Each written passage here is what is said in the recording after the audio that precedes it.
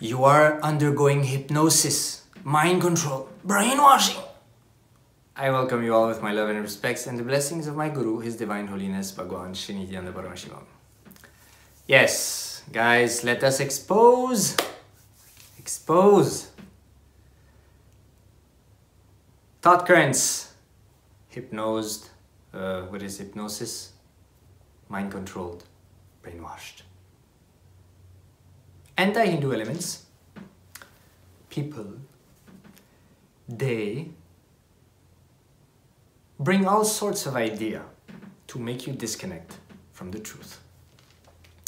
In this video, I want to share with you guys my cognition, the realization I had about how mind-controlled, hypnosis, and brainwashing are fraudulent concepts which aim to destroy you. And this is why. Hinduism is all about realizing that you are super consciousness.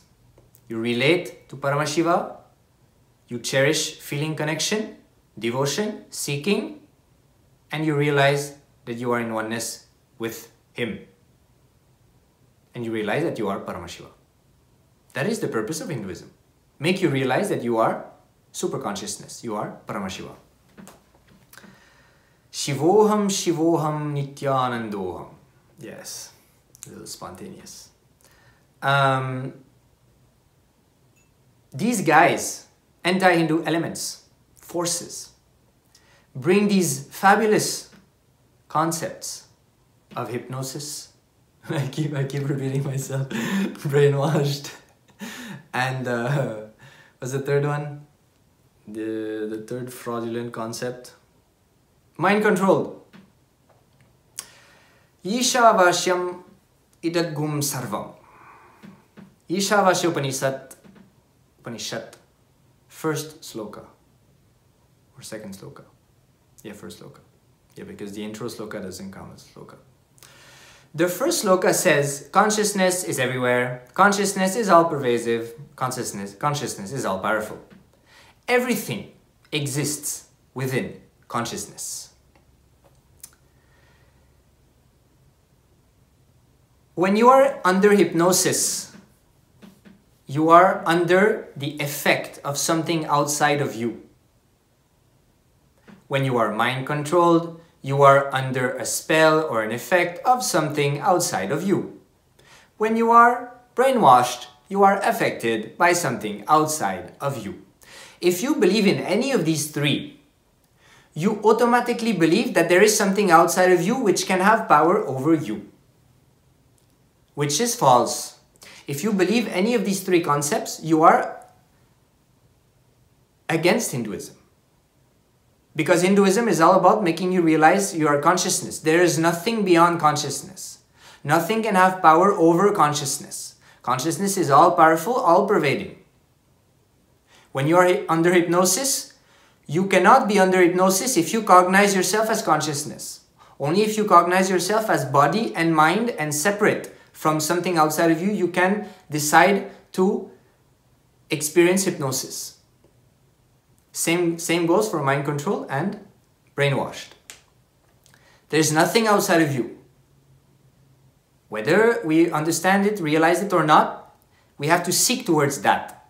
But at you should never, at any point of your journey in seeking towards realizing that you are consciousness, forget that you are not consciousness. If you decide to say, I am brainwashed, you're deciding, you're saying, I am not consciousness. That's what you're saying. Because consciousness cannot be brainwashed. If you believe you're brainwashed, you will never be able to experience your consciousness. You will always be powerless because you will always feel there is something outside of you and that thing outside of you can have power over you. So all these concepts you know, they have psychologists and all that stuff, they have amazing explanations to justify how these concepts are real, but they're not. It is concepts which are born out of an incomplete mind which does not have any form of understanding or initiation into the higher truth and the reality. And Hinduism is all about experiencing consciousness, whether it is the path of bhaktas or jnanis or yogis or siddhas, all paths. It is for you to realize your consciousness. So anybody who comes in front of you and says something brainwashed, something mind controlled, something hypnosis, they're trying to cheat you. They're trying to make you believe you are not consciousness. You have to, dis- if you are interested in experiencing your consciousness, you have to discard them from your life. What they're, the, the concepts they're bringing, the thought currents they're bringing forward are anti-Hindu concepts meant to destroy you and to keep you in a space of powerlessness so that they keep having power over you. When you are powerful, when you realize, the more and more you realize you are consciousness, you never feel powerless. So that's a very important thing. I had this click recently and I was like, I have to share. And Hindus have to stand. When people are claiming these shlapatas, like, like I mentioned in some other video, I don't know which video is going to come first because I'm recording a bunch right now. But uh, these shlapatas, they talk, talk, talk, all kind of nonsense they talk. And the problem is nobody says anything. They just keep talking. And the Hindus and people, they just keep quiet. Hey, this person is talking nonsense. And they're destroying Hinduism. Whether they talk or not, we have to talk also. We have to share, we have to expose this nonsense. We have to do something. We have to be active, enrich, share, educate. So that's what I wanted to share with you in this video. If you see anybody who comes with the concept of hypnosis, brainwashing, mind control, they are against your consciousness. They don't care about you realizing your consciousness. They want you to realize something else. I mean, you don't need to realize anything else. You already know. We are already stuck in the mind and already stuck in the body to attach to these two components of our existence. Swamiji says you are body also. Means you are body, but much more than that. But body is included, but that's not it. There's much more. So write your comments below, your opinions, your ideas. Thank you for watching. I'll see you guys in the next video.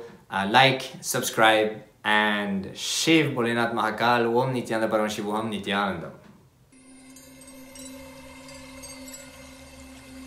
I welcome you all with my love and respect.